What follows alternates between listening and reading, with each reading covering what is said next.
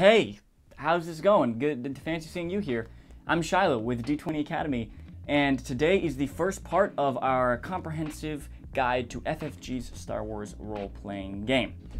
So, if you didn't know, there's a really cool Star Wars role-playing game by Fantasy Flight Games that we're going to be diving into, and throughout this multi-part series, I will be teaching you everything you need to know.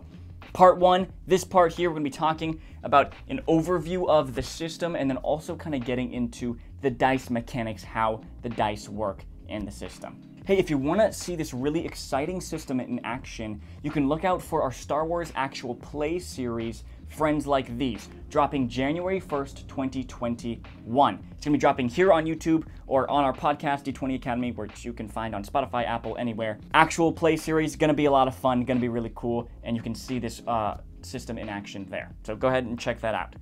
Okay, so let's talk about big picture stuff with this uh, Star Wars uh, role playing game here. Um, so Fantasy Flight Games made this Star Wars role playing game and then for some reason decided to split it into three different games. Um, which is a little weird, um, mostly because it's the same game, same system, same everything. Um, just, they just made three different ones. I guess to be cool and to, let's be honest, get more money. Make make more money. They're gonna get the uh, anyway. So this system, do not be alarmed that there are three different games: Edge of the Empire, Age of Rebellion, and Force and Destiny. They are the same game just each focuses on a different aspect of Star Wars. Also, all of them are set in the Age of the Empire, so after Episode 4, before Episode 5. There are some extra books that you can get to change uh, the, the setting into like Clone Wars or whatever. But mostly these three games and all, their, all the stuff built around them are set during that era, and each just focus on a different side. So, Edge of the Empire focuses on the scum and villainy side of Star Wars, you know, smugglers and slavers and Hutts. Age of Rebellion focuses on the conflict between the Empire and the Rebellion, and then Force and Destiny focuses on the Jedi and the Sith and that whole conflict there. Now, Fantasy Flight Games just released, well, just like two years ago, recently released uh, an RPG system called Genesys. The Genesys system is a blanket system, meaning it can be used for any kind of setting fantasy, sci fi, weird war, modern, you name it. Um, that's what the Genesys system is for. And the Genesys system is based off of the mechanics of the Star Wars system. They're very similar. So if you like this system, it sounds really cool to you, but maybe you don't want to play in Star Wars, I would highly suggest checking out the Genesys system. Okay, so let's talk about the dice here. Um, so most dice are split into two categories, positive dice and negative dice. And then there are some other dice on the side, force dice, which are white d12s, and then a percentile dice, which is a d100, you know, 2d10 thrown together, that whole shebang. But those are for very specific situations. Let's forget about those for now. Let's talk about the core system, which is based around these positive and negative dice. Now, for each positive dice, there is a corresponding negative dice. So let's go through them now. On the positive side, there are boost dice. These are blue d6s, and the corresponding negative dice are setback dice, which are black d6s. On the positive side, there are ability dice, which are green d8s, and those are the opposite of difficulty dice, which are purple d8s. There are yellow d12s called um, proficiency dice. Those are positive. And they are opposite red d12s called challenge dice, which are negative.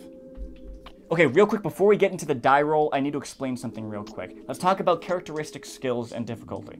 Now, I'll get into characteristics and skills more in the next part when we talk about character creation, but for now you can know this. Characteristics are kind of like the core defining attributes that every single character has. So you know how in Dungeons and Dragons each character has strength, dexterity, constitution, intelligence, all that kind of stuff? Well, it's the same in Star Wars. They have these core defining attributes.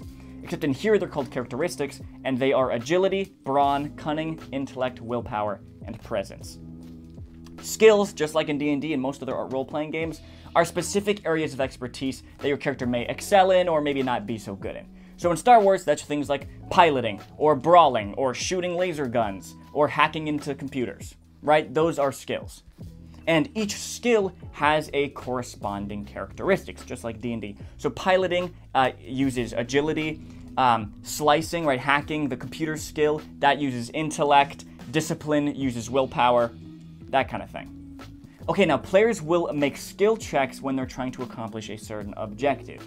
So whatever activity they're trying to complete, that determines what skill they're using, right? If they're trying to spot something in the distance, they use the perception skill, right? If they're trying to hack into a computer, they use the computer skill. Very obvious. And of course, each of these skills is attached to a characteristic. So when you're making a check, the dice you roll is determined by the skill and the corresponding characteristic.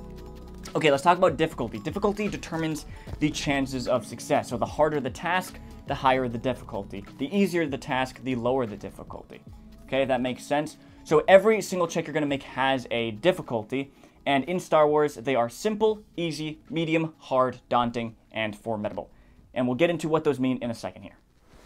All right, let's talk about the basics of a dice roll. So let's say I'm a character, I'm trying to make a check.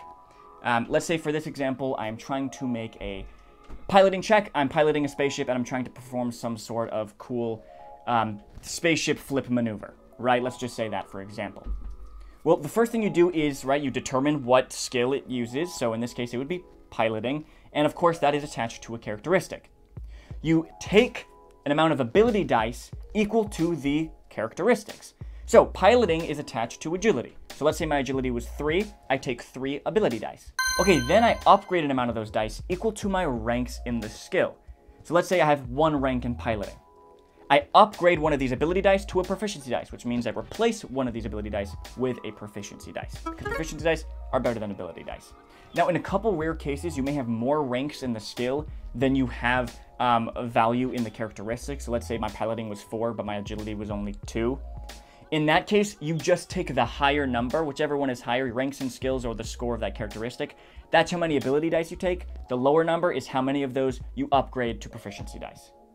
Okay, then you're gonna roll an amount of difficulty dice equal to the difficulty, right?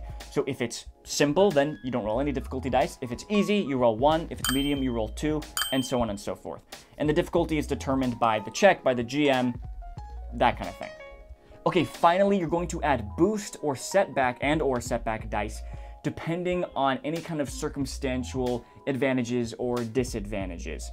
So maybe I have the higher ground when I'm trying to make an attack. Maybe I'll add some, if the GM says, I'll add some boost dice for that.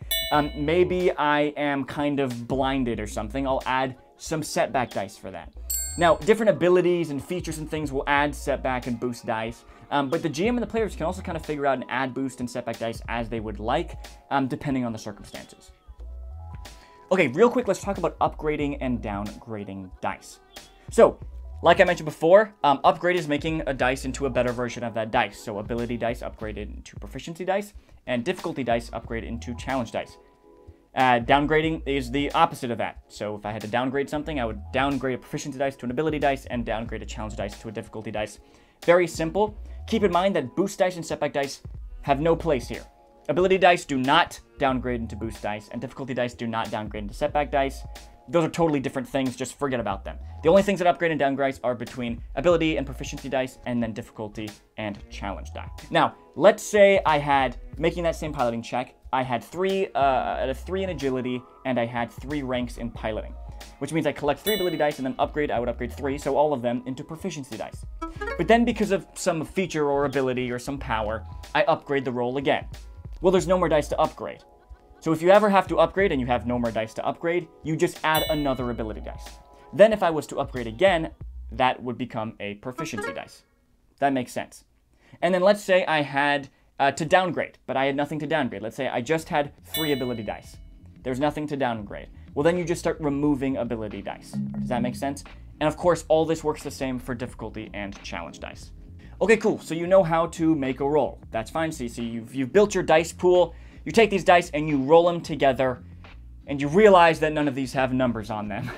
um, and that's because this system does not use regular dice like most other games.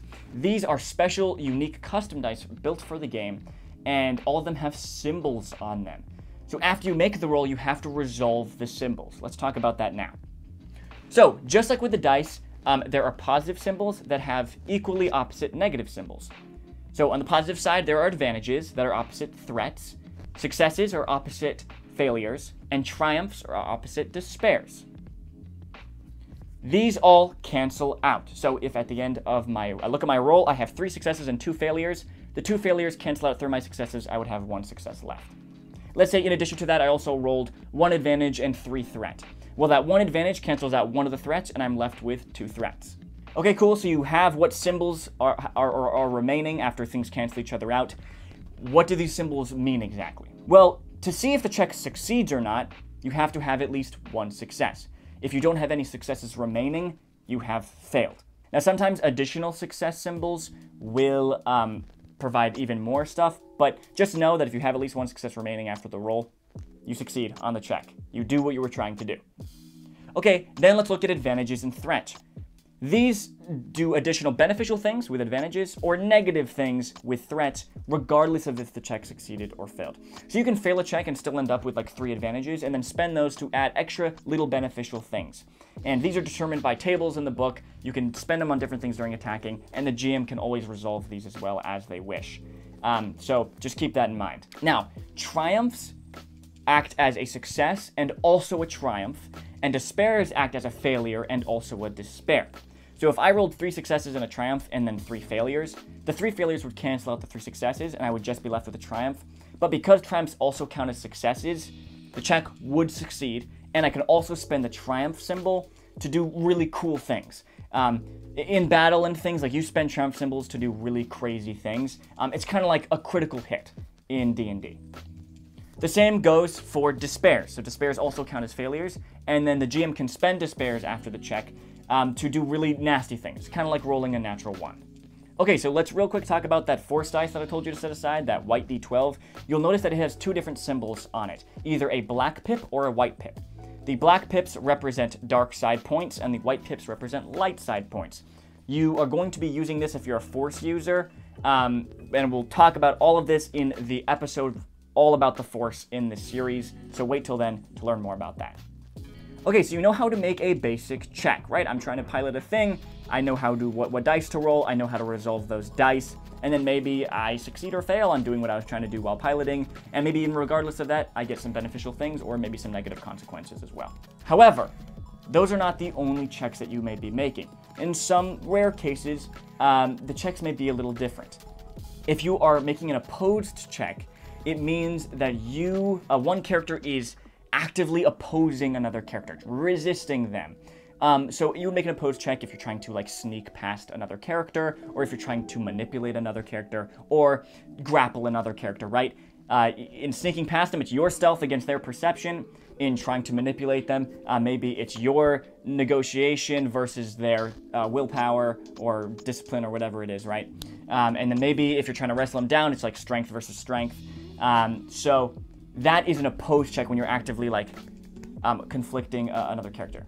In that case, you still count up your dice as normal, right? So um, if I was trying to sneak past a guard, I have a stealth rank of 1 and agility of 3. I'd collect 3 ability dice, upgrade one of those to a proficiency dice. But the difficulty is determined by their perception. And perception is tied to cunning. Let's say this guard has 2 cunning and 1 perception. The difficulty would be 1 difficulty dice and 1 challenge dice, right? Two from the cunning, upgrade one to a challenge dice from the one rank in perception. That is actually the difficulty of the roll. Okay, in a competitive check, that's when two characters are trying to compete in something. Maybe who can reach the finish line first or who can last longer in a drinking contest, things like that. In that case, both characters make the check, and then whoever has more successes at the end of it succeeds. If you are tied with amount of successes, then you go on at like advantages and triumphs and things like that to determine the victor. And if everything is tied up, if the rolls are exactly the same, you just re-roll. The final special kind of check is an assisted check, so if a character is trying to help another character with something. In that case, the person making the roll can choose the best skill and the best characteristic of both characters. So let's say I was trying to hack into a, a, some kind of system, right? That would require a computer's check. Maybe I have one ranking computer and four, uh, four intellect. And the person assisting me, my friend, has only three intellect, but three computers. Well, in that case, I can choose the higher skill and the higher characteristics. So I want to take their computers because they have three in computers, and my intellect because I have four in intellect. And those are the things that I use for the roll, meaning that I'm going to have a much better roll than if I was just doing it myself. Now, someone can also help you, and if they are not skilled in anything that you're doing, you would just get an extra boost dice with that check. All right, the final basic thing to talk about is destiny. So in this game, there is a pool of destiny points that both players and the GM can spend to influence things for good or for ill. At the beginning of every session, you create the Destiny pool by having every player roll a Force dice. For each white pip, you generate one light side point, and for each black pip, you generate one dark side point. You count all those up, and you create the Destiny pool for the session. So maybe at the end of tallying everything up, you end up with three light side points and two dark side points. Now, during that session, you can spend these points. Players can spend light side points, the GM can spend dark side points. Whenever you spend a point, it then flips over to the other side. So if a player is making a check and they wanted to spend a light side destiny points to help them in it, after they spend it, it becomes a dark side destiny point. This way, the balance between the light side and the dark side is constantly fluctuating and shifting. As the players are spending points to help them, the GM is spending points to, um, you know, cause bad things to happen to them, and things are constantly shifting. So, what can you spend Destiny points on? Well, first thing to keep in mind, you can only spend one Destiny point per check. And of course, you can only spend the Destiny point of your side. Um, and it only switches to the other side after the check is completed. So you both can't just spend the same Destiny point, canceling each other out, going on for infinity. Okay? Um, so what can you spend these on? Well, the first thing you can option you have when spending a Destiny point is the Helping Hand option, which means that you can upgrade a roll. So, you know, just just upgrade one of the dice in, in the roll, right? Very simple. And then the other one is raising the stakes option. That's where you downgrade the dice in a roll. Um, and then there's certain special abilities and talents and features that also spend destiny points. Um, so like a character, maybe depending on the career they choose, they can get a talent that allows them to spend a light side destiny points to deal extra damage in an attack or something like that. So there's all kinds of those as well that you can spend destiny points. The final thing you can spend destiny points on is for luck or deus ex machina or retconning. So let's say you land on a planet and turned out the atmosphere is not breathable for any of you. And then one of you can go, well, good thing we bought those masks that help us breathe in this atmosphere. And then you can spend Destiny Point to kind of retcon and, you know, and say that actually it turns out you did bring those, uh, even though maybe you didn't actually. Um, now, of course, these are just minor things, um, minor changes to reality and time that you're making, and the GM always has to approve on these. Um, but this is, you can just spend a Destiny Point to, like, have good luck. Like, I run into the contact I was looking for by accident. Wow, that's really good luck. Um, once again, the GM has to approve all of these, and these are more like minor things that don't affect the plot or story too much. Okay, that is it for this part of this series. The next part, episode two, we will be talking about character creation and that whole process. So subscribe if you want to be alerted for when that episode comes out. Um, we're going to be going through every single thing in this system so you can learn all you can about it. So make sure you subscribe. Comment below if you have any questions or concerns or want to know more about this system. And of course, guys, look out for D20 Academy's actual play series, Friends Like These, dropping January 1st, 2021. We're going to be playing in this system, actually using one of the, uh, the published modules. Um, that one's going to be a lot of fun. Follow us on Instagram at D20 underscore Academy. And you can comment on this video or our Instagram or anything to get into our Discord, where we have a whole community of people who love storytelling and tabletop RPGs and D&D, and we talk about and have uh, so much fun. Uh, we just do all kinds of stuff, crazy stuff over there. So go ahead and, and check us out if you want to get into that community. And if you are a game master or dungeon master looking to build your own campaign, heck, maybe it's in the star using the Star Wars system, Go over to d20academy.com. I have a video for you there that will take you through how to build your own homebrew campaign. Guys, thank you so much for watching, and I will see you next time.